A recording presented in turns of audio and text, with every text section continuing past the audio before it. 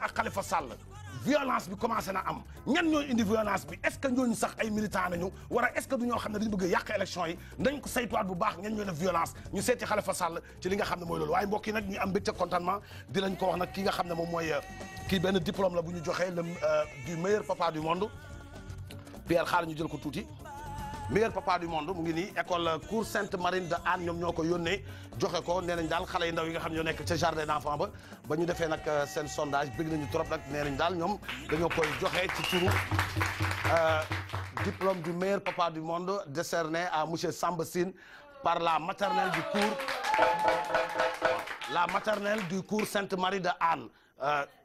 Pierre ñooñu xam nañ ma fa bu baax sax nee nañ daal kontaan nañ trop ci Kouthia Show ak équipe bi yëpp kon gars yi ñii ñëpp yéen a ko moom mu ngi noonu waaw waaw gis nga nee nañ daal xale yi daal vraiment bu ñu toogee ci classe bi daal mi mi ngi ñëw nañuy wax daal di accélérer la cadence kontaan nañu moo tax directrice bi jërëjëf jërëjëf jërëjëf léegi nag li ñuy def moom mooy dañuy dem seeti Khalifa Sall barki nabi Mustafa ayca ñu seeti Khalifa Sall gars yi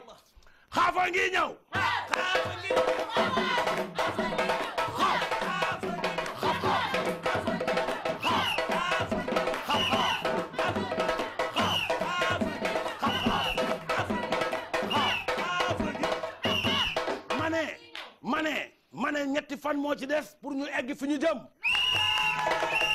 moo tax ñu ne xaaf come on here xaaf xaaf come on here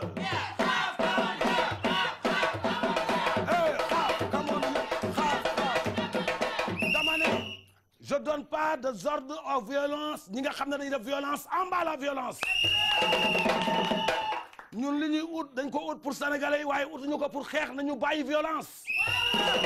may interpellé Mimi Touré te xam naa ne Mimi Touré moom ci boppam tamit dina lancé message bi mel noonu mooy nañu bàyyi violence bi te borom musóor bii nga xam ne moom laay jàkkaarloo dama bëgg mu gëm ne bu dee violence moo ñu nar a yóbbu ci fi ñu jëm ay musiba la nar a doon yi